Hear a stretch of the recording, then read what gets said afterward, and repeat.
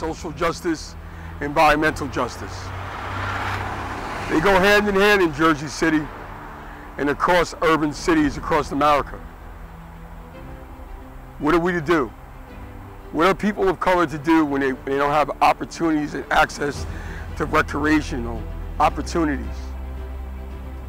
What are we to do?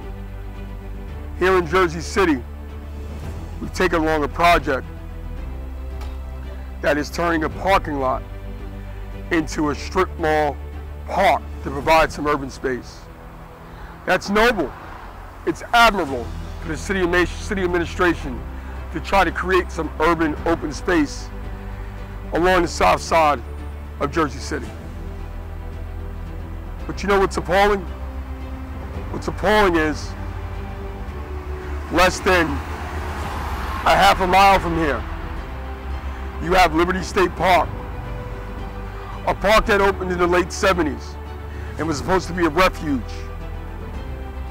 for urbanites. Over there in Liberty State Park, there's 235 acres of unused land. Some of it is contaminated. It needs to be cleaned up. Why do I say it needs to be cleaned up? There was a master plan drafted in 1977 that called for active recreation in Liberty State Park.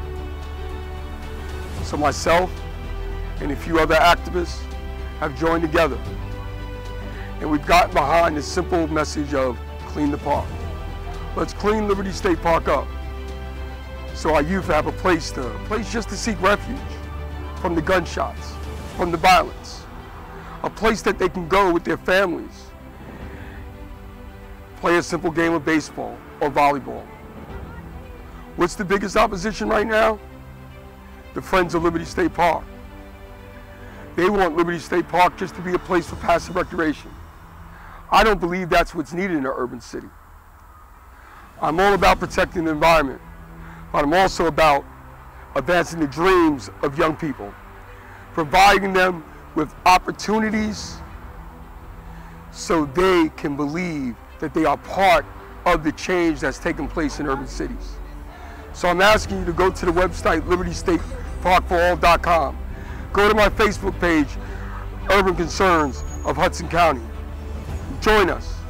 Join us as we try to elicit the support of elected officials, community activists that are going to ensure that active recreation and a proper cleanup is part of the Liberty State Park plan moving forward. Thank you. God bless you. We are a better Jersey City when we stand together, which makes us a stronger New Jersey.